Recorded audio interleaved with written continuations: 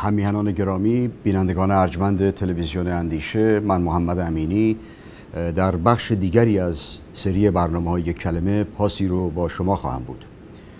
امروز یک کلمه ای که درباره آن می‌خواهم با شما سخن بگویم مفهوم تمامیت ارزی و گرفتاری هایی است که درباره حقوق قومی تباری زبانی و بیم که از از میان رفتن تمامیت ارزی ایران در میان بسیاری از نخبگان و کنشگران و اندیشمندان و دلسوختگان به آینده ایران وجود داره. اما پیش از آن که به این موضوع بپردازم گریزی جز ندارم یا گزیری جز ندارم که به موضوع اشاره کنم که ناچار به اشاره به اون هستم. من چند سالی است که با این تلویزیون همکاری می‌کنم. یعنی همکاری من با تلویزیون اندیشه در آغاز کار از راه شرکت و مصاحبه با دیگر برنامه سازان این تلویزیون بود. در برنامه‌ای که آقای گوهرزاد و آقای فروزنده مدیر تلویزیون حال اداره می‌کردند و می‌کنند گاه و بیگاه شرکت می‌کردم و پای پرسش اونها بودم.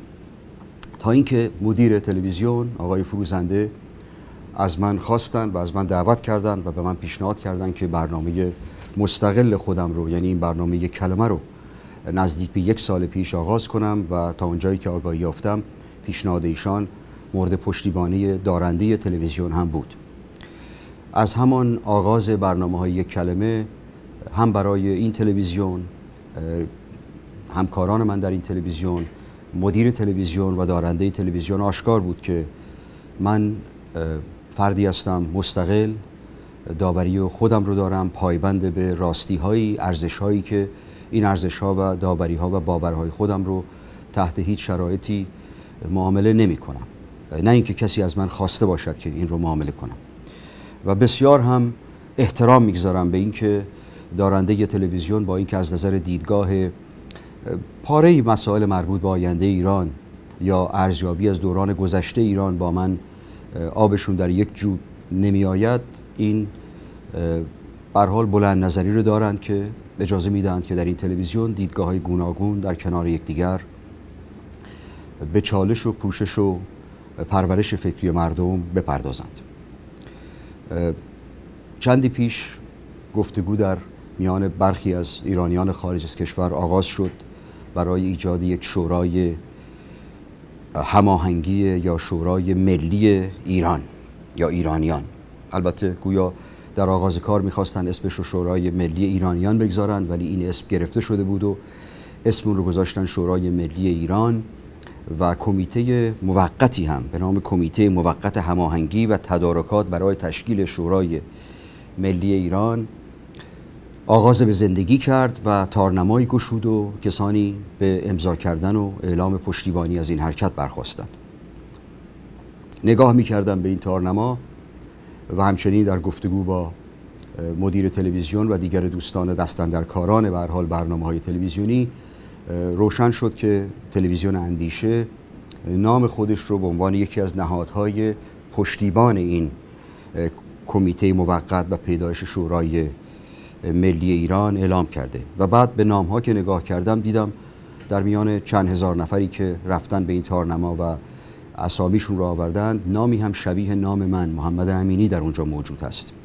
این است که بران شدم که اینجا توضیح بدم که من هیچ پیوندی با این شورای ملی ایران ندارم و البته دارنده این تلویزیون دارای این حق می باشند که این تلویزیون رو به اون رایی که فکر می کنند درست هست ببرند و این به حال جزو حقوق ایشان هست به عنوان دارنده تلویزیون ولی گمان نمی کنم که انتظار داشته باشند که هر یک از کسانی که در این تلویزیون برنامه ای دارند و فرصتی برای اونها به وجود آمده پشتیبان چنین حرکت و اندیشه ای باشند.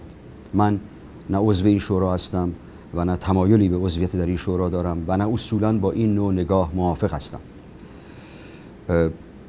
وقت شما رو هم نمی‌خواهم به این بگیرم که چرا با این کار سر سازگاری ندارم.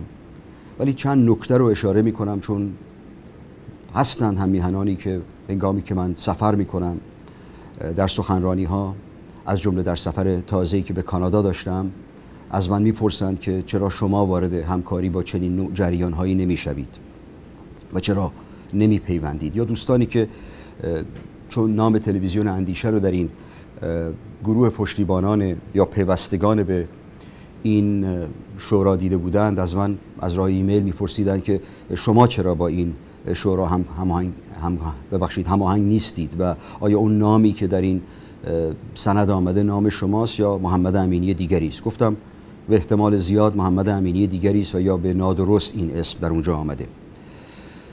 من فکر می کنم کوشش برای متحد کردن ایرانیان برای گذار به دموکراسی به ویژه از راهکارهای بدور از خشونت کار بسیار ارزشمندی است. ولی فکر می کنم جمع کردن و گله هم کردن گروهی که دارای جنبه های بسیار ناروشن و بحثانگیز و پرسش برانگیز می باشد به جای آنکه کمک به این کار بکند زیان خواهد رساند. یعنی شما برای اینکه چنین حرکت گسترده ای رو در میان ایرانیان آغاز کنید و اون رو به انجام برسانید. یا دست کم اقبال گروه وسیع از ایرانیان رو جلب کنید. باید پیش از هر چیزی اعتماد سازی بکنید. یعنی مردم باور کنند که این بار یکی دیگر از آن کنفرانس ها نشست هایی است که نشست هایی که بارها در این خارج از کشور در این سی و اندی سال برگزار شده و بعد از شش ماه تقش در آمده به قول معروف یا تشت رسواییش بر از بام بر زمین افتاده یا کسانی که در درون اون بودند به جان هم افتادن از هم جدا شدن علیه هم اعلامیه دادن این یکی هم از شمار اونها نیست. چرا این مهمه؟ برای اینکه مردم رو مگر چند بار می‌توان فرا خواند به جمع شدن؟ پس از مدتی وقتی احساس می‌کنند که مایه‌ای در اون نیست جریان جدی در این کار نیست و شاید جریان های ناروشنی در این کار باشد اعتماد خودشون را دست خواهند داد و در دعوت بعدی دیگه شرکت نخواهند کرد. ماجرای آن چوپان دروغگو در افسانه های ایرانی است. شما چند بار می توانید فریاد بزنید گرگ. پس از مدتی مردم اعتماد خودشون رو خواهند از دست خواهند داد. من به مثلا نگاه می کردم به نام گروه هایی که به عنوان ستاد موقت جمع شدند. و کوشش کردم در این یکی دو روز برخی از این گروه ها رو برم و جستجو کنم ببینم کی هستند بالاخره اینهایی که جمع شدند و می‌گویند که ما می‌خواهیم یک حرکت بزرگ در ایران انجام بدهیم خب کی هستند؟ جستجو کردم در اینترنت جنبش کوروش. من چیزی به نام جنبش کوروش نیافتم. تارنمایی یافتم به نام جنبش فرزندان کوروش. گمان نمی کنم همین باشد. ولی نام و نشانی از این که بالاخره این جنبش کوروش کیست؟ چند نفر آدم درش هست. چه کسانی با اون همکاری می‌کنند؟ چند سال تشکیل شده؟ برنامه سیاسیش چیست چشماندازش کجاست؟ یا جای دیگری دیدم جنبش بختیاری که این جنبش بختیاری تشکیل شده از حزب اتحاد بختیاری و لورستان و شورای عالی اشایر جنبش بختیاری. آیا جدا نمایندگان اشایر بختیاری جمع شدند؟ و شورای عالی اشایر بختیاری رو در خارج از کشور لندن یا پاریس یا فرانسه ایجاد کردند جدا باید باور کرد این رو. آیا این حزب اتحاد بختیاری بیش از چند نفر رو در بر می‌گیره؟ و آیا جدا دوستانی که این حزب رو ایجاد کردن نماینده مردم بختیاری هستند مگه همه مردم بختیاری قرار هست که یگونه بیاندیشند؟ آقای مشیری هم به حال بختیاری هستند خود من هم ممکن است از راه خانوادگی نیاکان غیره. یک مثلا آب باریکی بختیاری هم در خون بنده هم روان باشد. ولی این چه ویژگی ایجاد می کند که ادهی مثلا بشوند حزب بختیاری یا حزب لور یا حزب لک یا مثلا شاه سبن یا غیره. مگر بغرنج جامعه ایران بغرنج های اشیره است دسته ای از این دست است؟ و اصولا آیا این حزب دارای پایگاهی در میان مردم است؟ اگر فردا نشستی برگزار کرد و گفتش که مردم بیایند و من نمی‌گویم فقط این گروه رو اصولا می‌گویم. بیایند مثلا در مقابل سازمان مقابل فدرال بیلدینگ یا دفتر حفاظت ایران در واشنگتن یک تظاهراتی را بیاندازن 500 نفر یا شاید 50 نفر هم شرکت خواهند کرد. گروه های دیگری اینجا آمده کارزار اطلاف میان ایرانیان و سوری ها برای محاکمه خامنه ای این رو هم من هرچی جستجو کردم دیدم یک تارنمایی است که به حال بیشتر در پشتیبانی از کار شاهزاده رضا پهلوی برای ادعانامه‌ای که در نوشتند و به دادگاه الهه فرستادند برای محاکمه خام خامنه ای به وجود آمده. معلوم نیست چند نفر هستند. یک تارنماس یا یک گروه سیاسی هستند. یا مثلا گروهی به نام وبلاگ نویسان مستقل. چند نفر وبلاگ نویسان مستقل هستند؟ ایران زبان فارسی پس از انگلیسی یکی از پر شرکت کننده ترین زبان ها از نظر وبلاگ نویسی است. برخی می‌گویند دومی زبان دنیا در وبلاگ نویسی است. حالا اگر اغراق نباشه یکی از پنج ده زبان برجسته جهان در وبلاگ نویسی است. یعنی هزاران بلکه ده ها هزار ایرانی وبلاگ نویس هستند. چند نفر اونها در این شورا یا انجمن وبلاگ نویسان مستقل شرکت دارند؟ جبهه متحد بلوچستان ایران. ما میداریم دست کم ده گروه ادعا می کنند که نماینده مردم بلوچستان هستند. در همین جبهه متحد بلوچستان که زمانی عضو کنگره ملل فدرال بود و هنوز هم گویا هست باز یه شاخه‌ای به نام جمهوری خواه داره که به اونها حمله کردن از اینها جدا شدن. حزب مردم بلوچستان به اینها گفته یک عده آدم‌های به حال بی ربط و به درد نخوری هستند یعنی با هم دعوا داشتند. نگاه کردم دیدم نوشته یکی دیگر از گروه هایی که در این حرکت شرکت دارد مثلا جریانی است به نام اجازه بدید عین عبارتش رو عین عنوان رو عنوان گروه جبهه آزادی خواهان مردم ایران. و دیدم که به تازگی در همین آستانه اعلام این کنگره یک نشستی داشتند و دو نفر رو انتخاب کردن به عنوان سه نفر رو دو نفر رو نام آوردن به عنوان اعضای رهبری که یکی از اونها که به حال در عضو رهبری این گروه هست در این حال رهبری گروه دیگری هم هست به نام طرفداران یا فرزندان رستم در سیستان و بلوچستان. مگر رستم طرفداری کردن از رستم خط مش سیاسی است؟ ببینید من اینها رو که اشاره می کنم قصدم تخریب نیست. ولی پرسش هایی است که در میان ایرانیان وجود داره. این گروه ها کی هستند؟ از کجا آمدند؟ شما وقتی می روید اونجا امضا کنید. نامتون رو در این تارنما.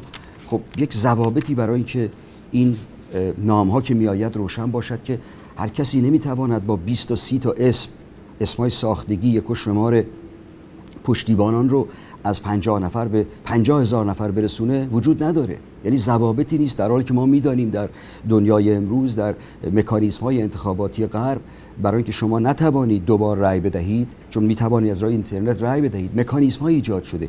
این مکانیزم نیست. یعنی هر کسی می‌تواند در اونجا نامی بگذارد. مثلا در این تارنما نزدیک شاید 100 نفر با فامیل آریایی امضا کردند و برخی از اونها معلوم است که اسم جعلی است. آرش آریایی رستم آریایی داریوش آریایی کوروش آریایی عرض کنم که ایران آریایی.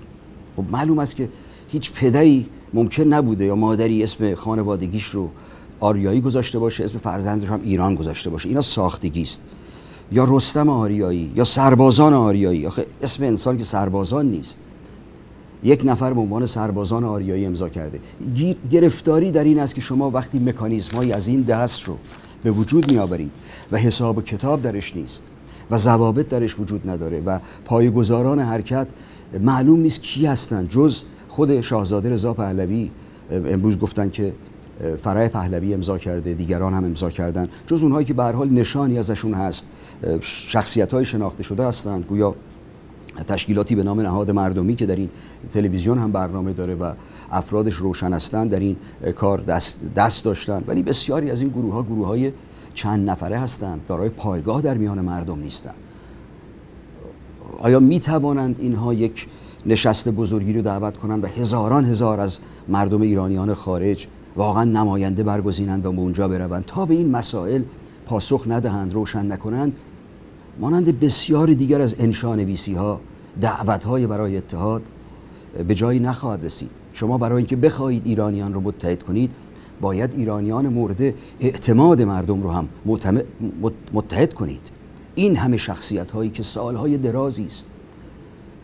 در رژیم گذشته ایران در اپوزیسیون رژیم گذشته ایران در همین دوران کنونی بریده شده از این حکومت و یا منتقدان به این حکومت فعال بودند شرکت دارند. جزو نخبگان سیاسی فرهنگی اجتماعی ایران هستند.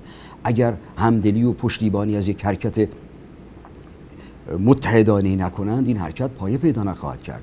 مردم به اون روی آور نخواهند شد. و فردا معلوم می شود که مثلا فلان گروهی که سربازان آریایی اسمش هست یا سربازان ایران نامش هست یا گروه شاخه نظامی فلان گروه هست اینها دو سه نفر آدم هستند که توانایی حتی نظامی هم دیگه ندارند. خب اینا ضرر می‌زنه زیان می‌زنه. من نمی‌خوام بیش از این در این باره صحبت کنم. امیدوار هستم که به حال روشنگری های بهتری بشود. یه مقداری جنبه های ناروشنی که در این باره وجود دارد رو برای مردم توضیح بدهند. ولی من نه علاقه به این نوع کارها این نگونه کارها دارم و نه به اون خواهم پیوست. گفتگوی امروز ما درباره تمامیت ارزی است و اتفاقا ارتباط پیدا می‌کنه با آنچه که در آغاز صحبت به آگاهی شما رساندم. اصلا از کجا مفهوم و گفتگوی تمامیت ارزی آغاز شده؟ تمامیت ارزی یک پیمان است میان دولت ها در جهان. یک پدیده رسیده به ما از دوران کهن ایران نیست. تمامیت ارزی با مفهوم امروزی کلمه حق حاکمیت ملی و تمامیت ارزی اینها مفاهیم زاده شده در دوران مدرنیته اروپا و ایران است و از اروپا این مفاهیم به ما رسیده. اگرچه ما در تاریخ کهن خودمون چیزی به نام کشور و تعیین تا حدودی مرزهای کشور رو به تدریج داشتیم ولی از زمان پیدایش پیمانهایی است که در اروپا در دوران مدرنیته شکل می‌گیرد. به این سوی است که مفهوم مدرن و امروزی تمامیت ارزی هم به ما ایرانیان می‌رسه. اگر بخواهیم پیشینه تمامیت ارزی رو در واقع در دنیا بررسی بکنیم باید به سال 1648 میلادی برگردیم که پس از یک دوره سی ساله خونین که به نام جنگ های سی ساله در اروپا نام آور شده نشستند کنار هم نمایندگان فرمانروایی های گوناگون درگیر در این جنگ خونریز سی ساله و پیمانی رو تنظیم کردند در منطقه ای از آلمان به نام وستفالیا که این پیمان به نام پیمان وستفالیا معروف شد جنگ سی ساله چه بود؟ جنگ سی ساله جنگی بود میان فرمانروایان و حاکمان دوکهای گوناگون سرزمین هایی در اروپا به ویژه آلمان و اروپای مرکزی به پشتیبانی از کلیسا یا در مخالفت با کلیسای کاتولیک با جریان های پروتستانی و جنگی بود. به هر حال آمیزه بود از حرکت های محلی خان خانخانی و دینی در اروپا. تا اون زمان هنوز احساس ملی در اروپا پیدا نشده بود. یعنی جنگ های ملی نبود. جنگ های میان خانهای محلی بود و پشتیبانی و مخالفت با اقتدار کلیسا. این پیمان وستفالیا زمینه شناسایی مرزهای کشورهایی رو که پس از پیمان وستفالیا شک گرفتند و یا پیش از اون بر حال نطفه هایی از این کشورها یا نمونه های از این کشورها در اروپا شکل گرفته بود رو بنا نهاد و به دنبال این پیمان که در گفتم 1648 به وجود آمد و به ویژه پس از سال 1815 یعنی در پیمان وین که پس از انقلاب فرانسه و به دنبال کشورگشایی های ناپلئون در وین کنفرانسی به وجود آمد تمام مرزهای کشورهای موجود اروپا رو شرکت کنندگان در پیمان وین به رسمیت شناختند و گفتند که بله ما کشور هستیم و این کشورها یکدیگر رو به رسمیت می‌شناسند. البته در تمام این دوران در جنگ جهانی اول و دوم جنگ های میان همین کشورها در گرفت و اینجا و اونجا مرزهای کشورهای اروپایی دگرگون شد. در ایران ما با یک پدیده تاریخی به نام ایران روبرو بوده و هستیم. یعنی ایران کنونی ما در واقع در کانون امپراتوری های نشسته است که از نزدیک به 2700 سال به این سوی در این سرزمین یعنی سرزمین کنونی ایران و سرزمین های تا حدود سه برابر سرزمین های کنونی ایران در یک پهنه گسترده فلات ایران و حتی بیرون از فلات ایران بر این ناحیه حکومت می‌کردند. از دوران ماد نخستین دولت ایرانی و شاید هم پیش از اون در دوره ایلام و پس از اون دولت های اشکانیان ساسانیان که نزدیکترین اونها به دوران ما ساسانیان هست به دوره اسلامی و پس از اون در دوران اسلامی کشورهای دولتهای گوناگونی. نخستین اونها سلجوقیان که اولین دولت سراسری ترکمان تبار ایران رو ایجاد می‌کنه بر این سرزمین پهناور چیره بودند. اما اینها هنوز خودشون رو به صورت یک کشور به مفهوم مدرن کلمه که دارای مرزهای خیلی روشنی باشه نمی‌دانستند مرزهای نواحی سرحدی ایران مرزهای در حال تغییر بود و حکومت‌های محلی که زیر سایه و مورد پشتیبانی دولت مرکزی بودند در دوران خیلی گذشته پیش از اسلام به نام ساتراپ ها البته ساتراپ واژه یونانی شده اشترپاون یا شهرداران محلی است یا حاکمان محلی است شاهنشاهی ایران در واقع این گونه بوده که شاهان محلی زیر چیرگی دولت پادشاهی امپراتوری ایران زندگی می‌کردند و از مرزهای ایران به گونه های مختلفی به, اشکال گوناگونی دفاع می‌کردند و منافعی داشتند در این حرکت ولی مفهوم در واقع کشور ایران واژه کشور ایران نخستین بار که ما سندی از این داریم به نام کشور ایران یعنی کهنترین سند دولتی که برای ما مانده از روزگار مغولان هست که به واژه کشور ایران به عنوان یک سرزمینی که با یک دولتی درش وجود داره اشاره می‌کنه. و اون نامه است به فارسی که شاه ترکمان آقایونلو یعنی اغرلو احمد سه سال پیش از آغاز پادشاهی شاه اسماعیل در آغاز سده 16 میلادی به سلطان بایزید عثمانی نوشته. من عین عبارت اون رو برای شما بهش اشاره می‌کنم.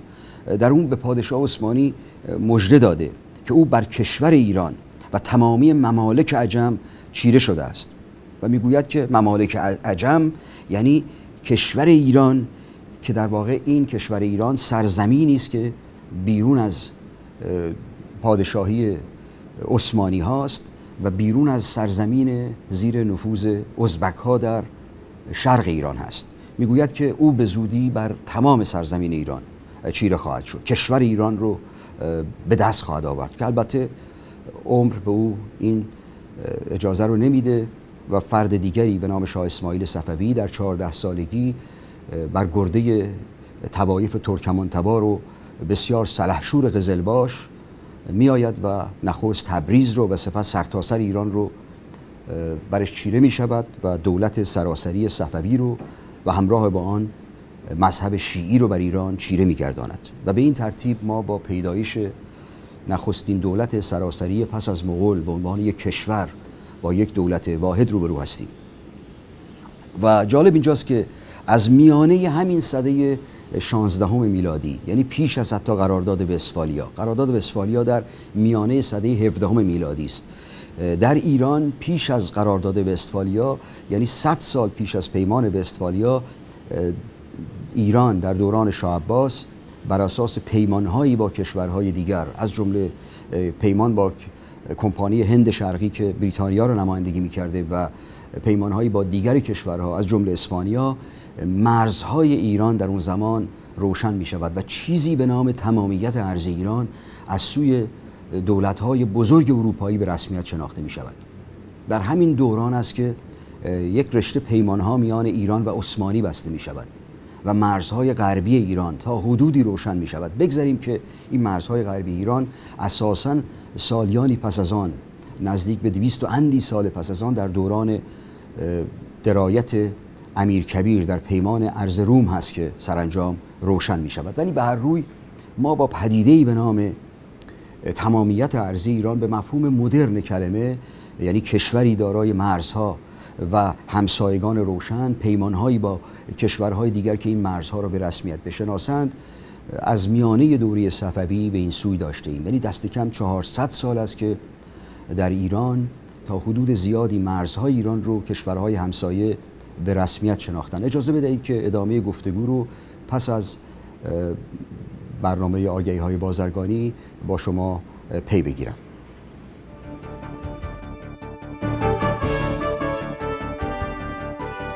عزیزان ساعت های جدید برنامه های ما از کانال اندیشه به شرح زیر است.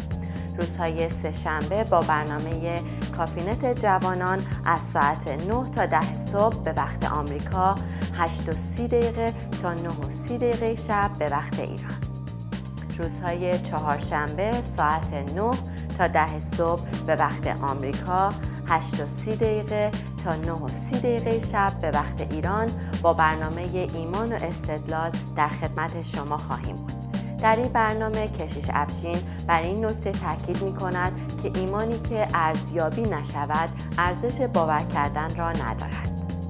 روزهای پنجشنبه ساعت 9 تا ده صبح به وقت آمریکا 8 و 30 دقیقه تا 9 و 30 دقیقه شب به وقت ایران با برنامه با هم از کشیش تد سوارد که به ما آموزش می دهد که چطور می‌تونیم با هم و در کنار هم خداوند را پرستش کنیم و در کلام او تفکر کنیم. روزهای جمعه ساعت 9 تا 10 صبح به وقت آمریکا 8 و 30 دقیقه تا 9 و 30 دقیقه شب به وقت ایران با برنامه انجیل چیست از کشیش عزیزمان سهراب رامتین که به تعریف و کاربرد اون در زندگیمان می‌پردازد. روزهای شنبه با برنامه تعالیمی برای نوعیمانان و حقجویان با کشیش ایرج همتی از ساعت 8 تا 9 صبح به وقت آمریکا 7 و 30 دقیقه تا 8 و 30 دقیقه به وقت ایران با شما خواهیم بود.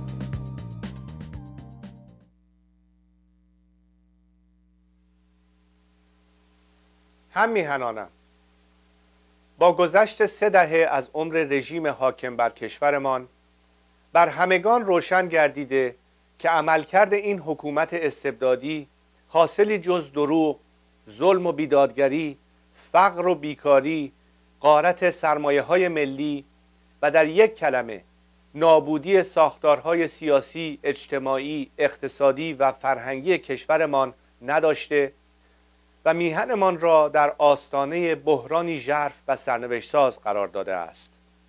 بحرانی که همه ما را موظف می دارد که بیش از پیش برای نجات مملکت و سعادت ملت به خود آییم و راه را برای یک آشتی ملی و سهیم کردن مردم در سرنوشت خیش هموار سازیم و از طریق فراهم کردن شرایطی کاملا دموکراتیک برای برگزاری انتخاباتی آزاد، سالم و عادلانه که مورد تایید و تصویب اکثریت قاطع ملت ایران باشد همت گماریم.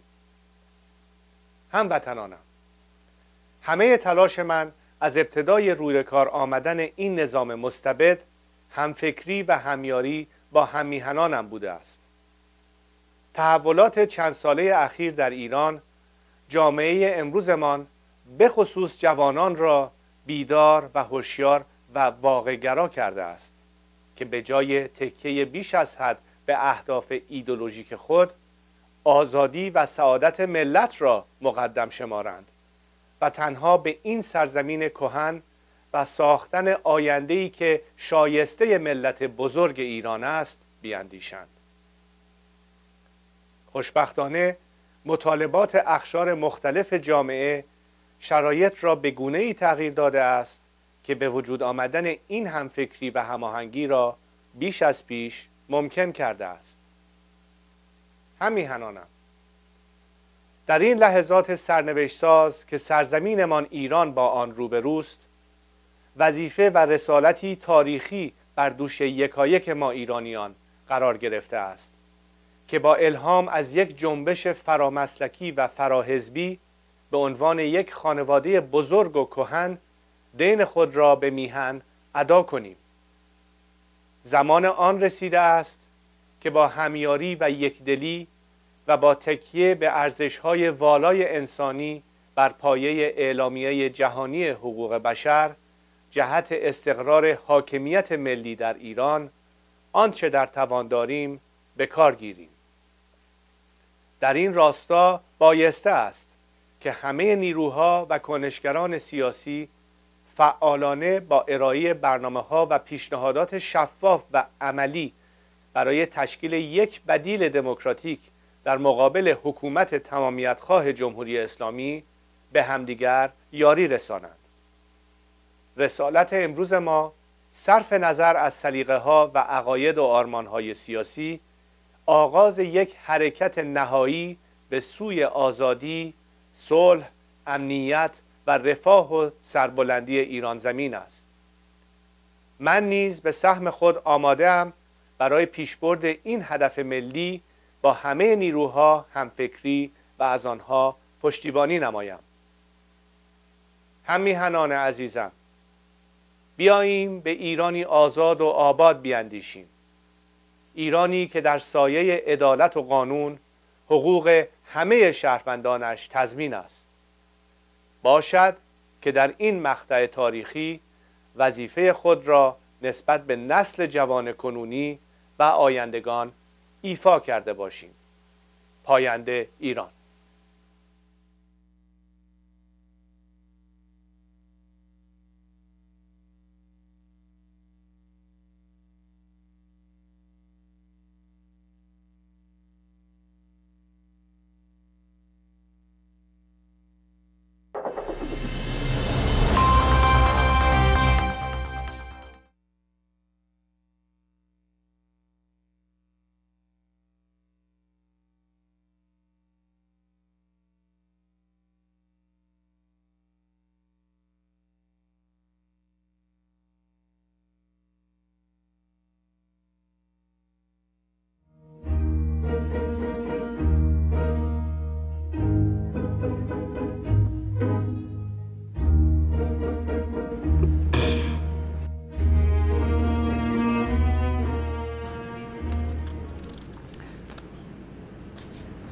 همیانان گرامی بینندگان ارجمند تلویزیون اندیشه به رشته گسسته کلام باز میگردیم. من پیش از اینکه به تنفس برویم گفتم که آگهی های بازرگانی ولی به نظر میاد که بیش از آگهی بازرگانی در وسط برنامه من بود. نمی‌دونم اون قسمت ها هم آگهی بازرگانی بود یا یک تبلیغات سیاسی ولی بر روی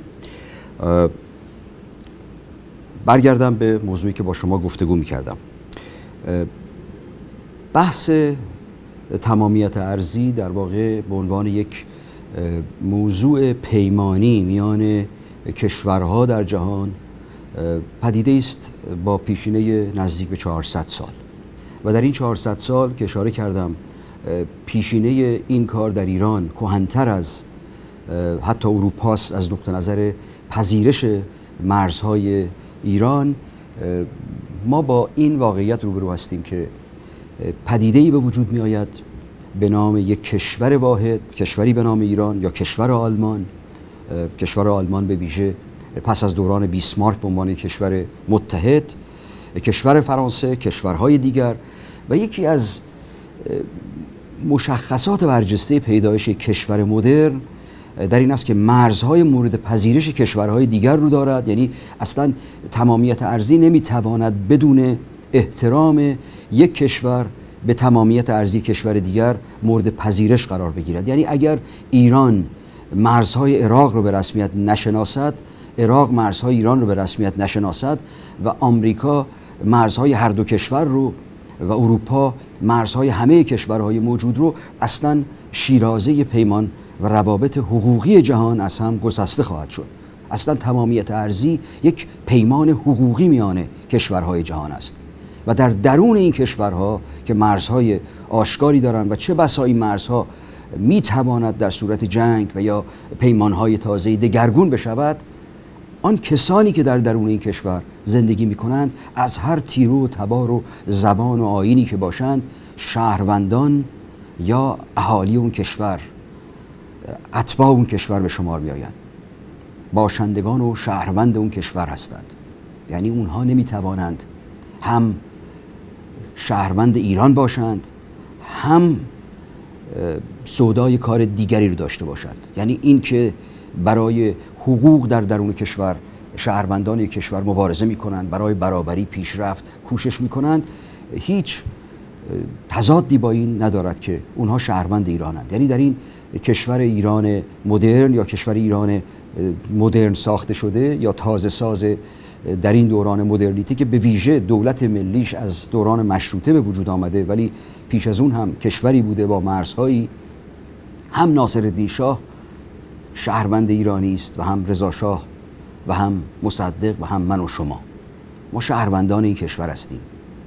اتباع این کشور هستیم یا بودیم. دارای حقوقی هستیم که به بر سر اون حقوق با هم چالش و جدال و سر ناسازگاری و سازگاری داریم. طبیعی است که در هر دوره در, در جهان در کشاکش میان کشورهای گوناگون بسته به اینکه کشوری ناتوان باشد یا توانا مرزهای خودش رو می‌تواند حفظ کند یا بخشهای از سرزمین خودش رو می‌تواند به کشور دیگری بدهد یا از دست بدهد و حتی مجبور بشود که زیر زور آن کشور کشور همسایه یا کشورهای دیگر مرزهای تازه خودش رو اونها به رسمیت بشناسند و او از روی ناچاری و بیچارگی مرزهای کشور دیگری رو که بخشای از سرزمین خودش رو به او واگذار کرده به رسمیت بشناسد. پیمان ترکمانچار یکی از نمونه های این بیچارگی کشور ماست که از روی ناتوانی در پی دو جنگ میان ایران و روس و به فتوای علما بخشای مهمی از خاک ایران در شمال رودخانه عرس از دست ایران جدا شد و ایران بر پایه پیمان ترکمانچای برای همیشه مرزهای دولت روسیه رو که در برگیرنده این سرزمین های تازه از دست رفته صدها سال ایرانی بود رو به رسمیت شناخت. پیمان آخال باز بر پایه تحمیلی که بر ایران روی داد در دوره ناصر شاه مرزهای شمال خراسان ایران را روشن کرد و بخشهایی از ترکمنستان از ایران آغاز شد جدا شد. پیمان گولدسمیت مرزهای شرقی ایران رو در منطقه سیستان و بلوچستان روشن کرد. بلوچستان رو به دو پاره تقسیم کرد. پیش از اون در ارز روم اینجا باید گفت به راستی به دلیل درایت و کاردانی امیر کبیر و یارانش مرزهای ایران خیلی روشن به سود ایران در واقع به انجام رسید. اگر درایت اونها نبود چه بسا بسیاری از روستاهایی که امروز در خاک ایران هست بسیاری از سرزمین هایی که امروز در خاک ایران هست به عثمانی پیوسته بود و در نتیجه امروز یا در ترکیه بود و یا در عراق. حتی در مورد اینکه آیا مرز شرقی شط العرب اروند رود مرز ایران است یا نه گفتگو بسیار بود و سرانجام اینها حل شد. ولی بر روی این مرزها پس از این جنگ و جدال ها به رسمیت شناخته شد. چند بار در تاریخ ایران کوشش برای باز تعریف این مرزها شد. یکی از مهمترین اونها پیمان 1907 بود میان روسیه تزاری و بریتانیا. عملا ایران رو به دو منطقه نفوذ تقسیم کرده بود و عملا سودای دوپاره کردن ایران رو در سر میپروراندند. نمونه بسیار برجسته که بیشتر ایرانیان درباره اون خواندند آگاهی دارند. حتی پاره از ایرانیان کهنسال در اون شرکت داشتند. ماجرای بدشوم یا سرانجام پیامد خوبی هم داشت در پایان کار. ولی بسیار بد فرقه دموکرات آذربایجان و ماجرای امکان جدایی آذربایجان از ایران بود که دولت شوروی در سودای اون میکوشید. و حتی در مهاباد هم یک جمهوری مهاباد ایجاد شده بود. این که انگیزه کسانی که به این کار پرداختن چه بوده باشد راستی این است که در اون زمان در پیامد جنگ جهانی دوم ما به راستی با خطر تجزیه ایران روبرو بودیم جدا شدن دست کم آذربایجان از ایران. در دوران جمهوری اسلامی حمله عراق به ایران می‌رفت تا تمامیت ارزی ایران رو در زمینهایی به خطر بیاندازه. یعنی موضوع جداسازی بخشهایی از خوزستان و مسئله ایجاد سرزمین های نسبتا نیمه مستقلی در کردستان در اندیشه کسانی که برانگیزنده این جنگ بودند در بیرون از ایران چون در برانگیختن این جنگ دولت جمهوری اسلامی هم سهمی داشت در کارهایی که در اون دوران انجام داد. ولی بر روی ایران مورد تجاوز عراق قرار گرفته بود. رو جامعه جهانی هم پذیرفت. سازمان ملل هم پذیرفت. ولی به هر حال مرزهای ایران دگرگون نشد و تمامیت ارزی ایران حفظ شد. امروز بسیار جالب است که در 33 سال پس از پیدایش جمهوری اسلامی هنگامی که گفتمان اساسی جامعه ایران باید بر سر دموکراسی و حقوق شهروندی باشد فیل ادهی به یاد هندوستان افتاده. همین پیدایش این گروهک های قومگرا به راستی اگر هم در ذهن و روحیه خود کسانی که این کار را آغاز کردند مسئله خدشدار کردن تمامیت ارزی نباشه ولی آب به آسیاب چنین حرکتی ریخته و میریزه. چند سال پیش پس از دخالت نظامی عراق در ببخشید ایالات متحد در عراق دی به این اندیشه افتادن به ابتکار حزب دموکرات کردستان ایران و کومله و چند گروه دیگر تشکیلات ایجاد کردند به نام کنگره ملل فدرال که برخی از این گروه هایی که در پیدایش این همین شورای ملی ایران درگیر هستند در این کنگره ملل فدرال عضو بودن و هستند. یعنی کنگره ملل فدرالی که دو تا از اعضای پایگزارش بیانیه منتشر کردند برای دامن زدن به جنبش رهایی بخش ملی یا ملت کرد ایران. این کنگره ملل فدرال انگیزش این بود که بیاید و به جای اینکه گفتمان اساسی همه شهروندان ایران در دوران مدرن با حکومت باشد برای دستیابی به حقوق شهروندی باشد ایرانیان رو تقسیم کنه به دسته ها و گروه های ایلی و قومی و تباری و زبانی. تا جایی که در تارنمای یکی از همین گروه هایی که باز در تشکیل این کنگره این جریان شورای موقت دست دارند یا پشتیبانی کردند یکی از شاخه های حرکت اونها شاخه های عشیره است. شاه سبن ها کلهر ارز کنم لک ها مگر جامعه ایران دوران مدرن بناست که مردم بر پایه قومی بر پایه طایفه‌ای تقسیم بشوند؟ مگر مردم لور به دلیل لور بودن دارای یک دیدگاه واحد همگن نزدیک به هم و سرنوشت جدایی از مردم ایران هستند. مگر شما در میان لورها، بختیاریها، کردها، آذربایجانیها، شیرازیها نمی توانید هوادار ولی فقیه داشته باشید؟ هوادار حکومت خودکامه داشته باشید؟ هوادار پادشاهی داشته باشید؟ هوادار جمهوری داشته باشید؟ کمونیست داشته باشید؟ لیبرال داشته باشید؟ مگر پایبندی به یک پیشینه ایلی اینکه در یک ساختار ایلی شما زاده شده باشید این هاست که تعیین می کند شما چه هستید که باید بر پایه دسته های ایلی و قومی احزاب به وجود بیاید. حزب بختیاری حزب متحد مردم بلوچ اتحاد بلوچ حزب دموکرات کردستان حزب کموله کردستان ایران جبهه الاهواز. و همینطور گروهک های از این دست و گروه های از این دست که گویا گرفتاری بزرگ تاریخی ایران در این بوده هست که مردم اهواز زیر ستم دولت مرکزی قرار گرفتند و نه اینکه مردم بهبهان و کاشان و نتنز و مشهد هم به همون اندازه از خودکامگی از تبعیض دینی از تبعیض جنسیتی از نابرابری های اقتصادی از فساد در جامعه رنج بردند در درازای دهه های گذشته در ایران. و این گویا تنها در اهواز و سنندج و حالا لورستان و بختیاری هم به اون اضافه شده. حتما احزاب مازندرانی و گیلانی و اینها هم در کشور ما به وجود خواهد آمد. خب اینها واقعا به راستی نشان می‌دهد که دی که در سودای باید در سودای حفظ تمامیت ارز ایران و مبارزه برای دستیابی به حقوق شهروندی باشند اندیشه های معینی رو در سر دارند که اگر هم نخواهند ناخواسته به این حرکت تفرقه در ایران دامن می‌زنند. ایران کشوری است که در درازای صد سال گذشته اساسا شهرنشین شده و امروز 76 درصد جمعیت ایران جمعیت شهری است و کمتر از 3 درصد جمعیت ایران جمعیت عشیره‌ای شناخته شده به عنوان یک دسته ایلی و عشیره‌ای است. یعنی ایرانیان امروز خودشون رو به عنوان یک عضو یک خانواده عشیره‌ای شناسایی نمی‌کنن حتی اگر پیشینشون برآمده از آن باشد. کسی ممکن است کرد زبان و کرد تبار باشد ولی وقتی وارد کارزار زندگی اجتماعی و اقتصادی و فرهنگی در جامعه ایران می شود به عنوان یک شهروند کردتبار ایرانی در چالش اجتماعی فرهنگی سیاسی ایران شرکت می کند شهرام ناظری خواننده مورد احترام و پذیرش همه ایرانیان است. از سراوان تا اردبیل تا سنندج شیفته این خواننده کردتبارند.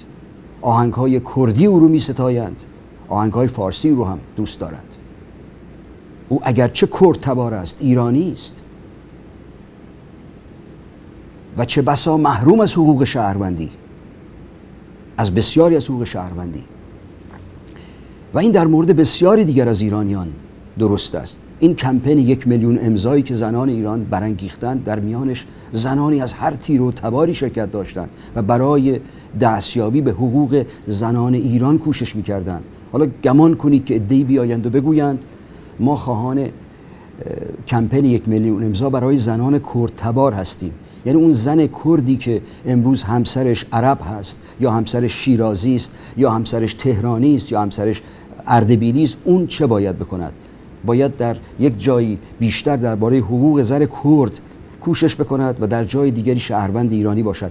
این چه ماجرایی است که برانگیختن برای دامن زدن به چالشی در جامعه ایران که چالش واقعی نیست؟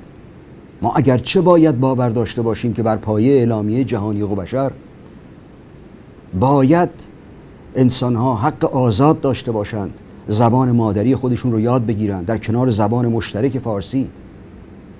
همونجور که در ایالات متحد زبان مشترک انگلیسی زبان اداری آمریکاست زبان ملی آمریکاست ولی ایرانیان در مدارس زبان فارسی می‌خوانند مکزیکی ها زبان اسپانیش می‌خوانند. این جزء حقوق شهروندی است.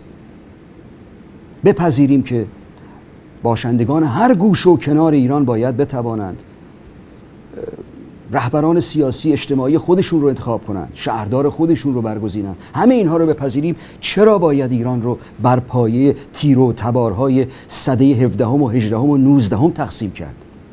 به دنبال این گشت که کی کلهر است کی بیات است. خب خوب است از نقطه نظر شناسایی های فرهنگی چنین تارنماهایی به وجود بیاید که بیات ها در ایران چه کسانی هستند؟ هزاره ها در ایران در کجاها زندگی می کنند ولی حقوق هزاره ای ما در ایران نداریم. اینکه شما هزاره ای باشید یا بیات باشید یا کلهر باشید یا سنجابی باشید که حقوق متفاوتی به شما نمی‌دهد. چیزی به نام حقوق قومی در ایران وجود ندارد که در برخی از این اسناد هم میآید. یعنی چی حقوق قومی؟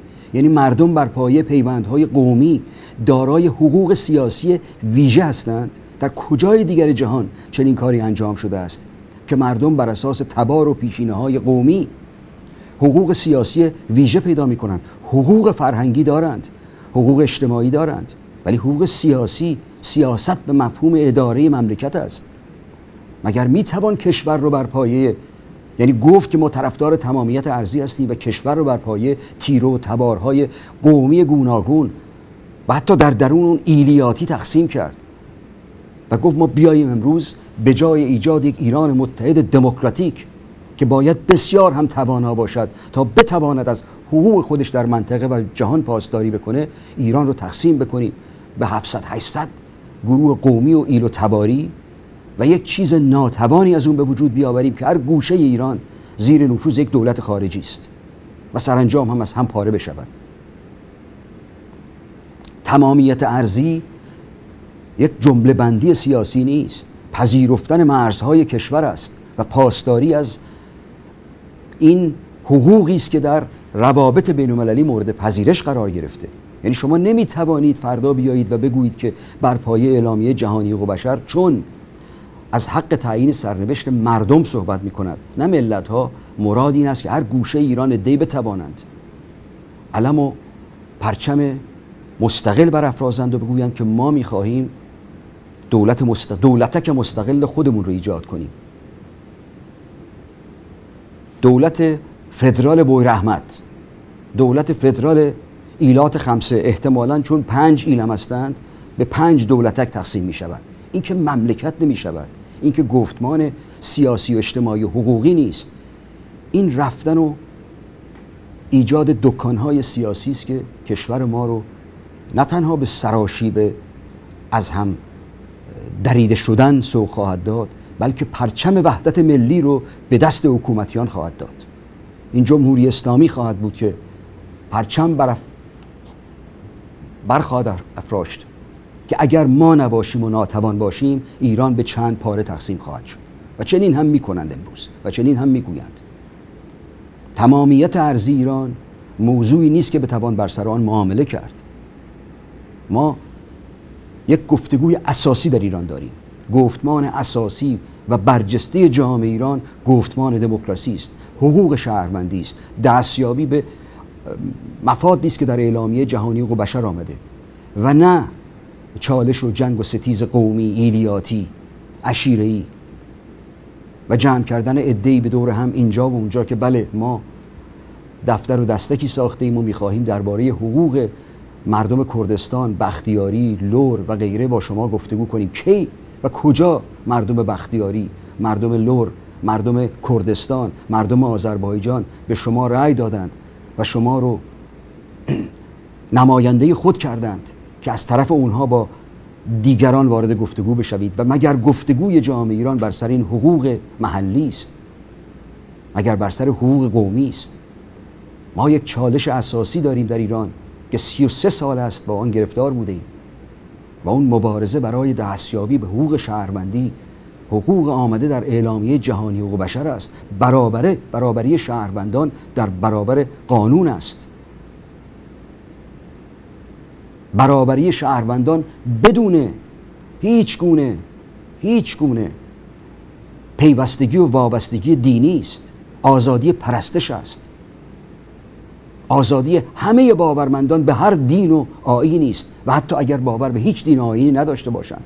برابری حقوقی اونهاست که مورد چالش و گفتمان جامعه ماست و نه بحث های کناری که به نظر من پرچم وحدت ملی یا پرچم تمامیت ارزی رو ناخواسته و به نادرست به دست کسانی می‌دهد که با ماجراجویی های هسته‌ای و جنگ افروزی ها تمامیت ارزی ایران رو به خطر انداختند. تا هفته آینده روز روزگار بر شما خوش باد.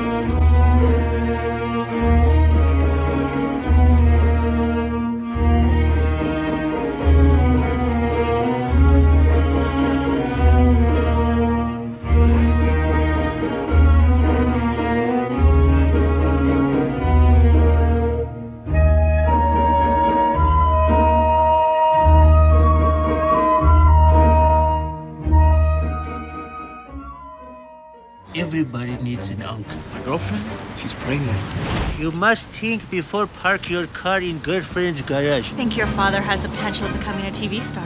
I'm also his manager. What would you say if I asked you to be an uncle for television? This September, when a modern American family gets an uncle from the old country. Uncle Raphael, this is my family, except Damon, he's an ass. Jack. You're drunk.